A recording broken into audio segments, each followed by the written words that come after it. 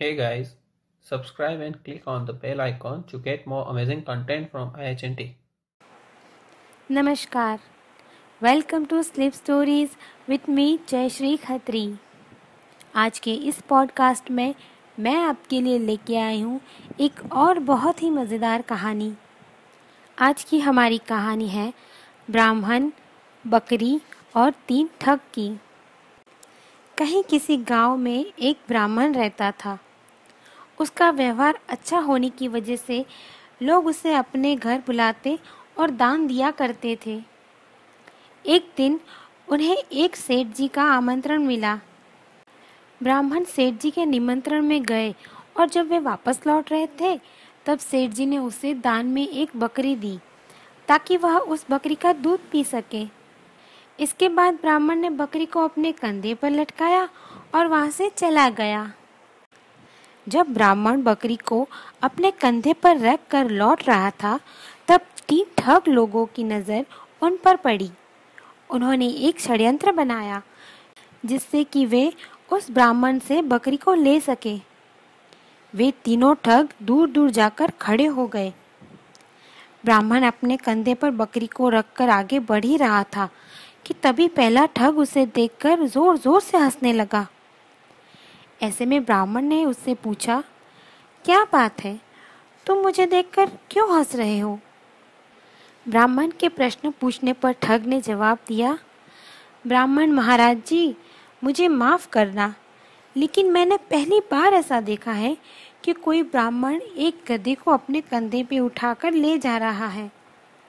यह कहकर वह ठग फिर हंसने लगा। ब्राह्मण ने उसकी बात पर ध्यान नहीं दिया और वह वहाँ से आगे चला गया। चलते चलते रास्ते में ब्राह्मण को दूसरा ठग मिल गया। दूसरे ठग ने उनसे पूछा, क्या बात है ब्राह्मण महाराज जी? आपके इस गधे को चोट लगी है क्या, जो आप इसे अपने कंधे पे ले जा रहे हो? यह सुनकर ब्राह्मण बहुत ही गुस्सा हो गया और उसने बोला, तुम्हें दिखता नहीं है क्या? यह कोई गधा नहीं है। यह एक बकरी है और मुझे यह दान में मिली है। इसलिए मैं इसे अपने कंधे पर उठाकर ले जा रहा हूँ। यह सुनकर ठग ने कहा, मुझे माफ़ करना, लेकिन शायद आपको किसी ने ठग लिया है। यह बकरी नहीं, गधा है महाराज। यह सुनकर महाराज सोचने लगा कि पहले वाला व्यक्ति भी इसे गधा कह रहा था और यह भी इसे गधा ही कह रहा है। आखिर लोगों को हुआ क्या है? यह सोचते सोचते वह आगे चला गया। चलते चलते उसे रास्ते में तीसरा ठग भी मिल गया। तीसरे ठग ने उनसे कहा, ब्राह्मण देवता, आप इतनी तकलीफ़ क्यों उठा रहे हैं? लाइए, इसे मुझे दे दीजिए। मैं इसे आपके घर तक छोड़ आऊँगा। ब्राह्मण के लिए कार्य करना तो पुण्य का काम है। इससे मुझे भी आशीर्वाद मिल जाएगा। उस व्यक्ति की यह बात सुनकर ब्राह्मण खुश हो गया और उसने बोला, बहुत बहुत धन्यवाद। तुम एक भले इंसान लगते हो। फिर उसने वह बकरी ठग को दे दी। वे दोनों एक साथ चलने लगे।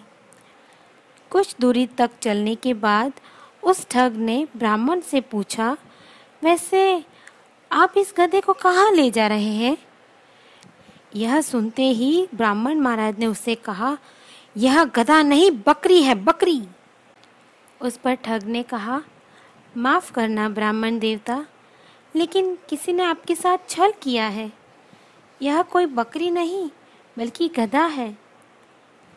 यह सुनते ही ब्राह्मण ने ठग से बोला, मैं तुम्हें यह गधा दान में देता हूँ, तुम इसे ले जाओ. यह सुनते ही ठग अंदर ही अंदर खुश हो गया। क्योंकि उसकी तरकीब काम कर गई थी। इसके बाद वे तीनों ठग बकरी को ले गए और बाज़ार में जाके बेच दिया और काफ़ी अच्छे पैसे कमा लिए। आज की हमारी स्टोरी का मोरल ये है कि किसी भी झूठ को बार बार दोहराने से लोग उसे सच मानने लगते हैं। इसलिए हमें हर वक्त अपने दिमाग का इस्तेमाल करना चाहिए और फैसला लेना चाहिए। सच और झूठ की परख करना इतना भी मुश्किल नहीं होता। हाँ थोड़ा प्रयत्न ज़रूर करना पड़ता है। आज की हमारी ये स्टोरी आपको कैसी लगी? हमें कमेंट करके ज़रूर बताइएगा। हमें लाइक और सब्सक्राइब ज़रूर कीजिएगा। मिलते हैं अगले पॉडकास्ट में। तब तक के लिए स्लीप वेल लिव बेटर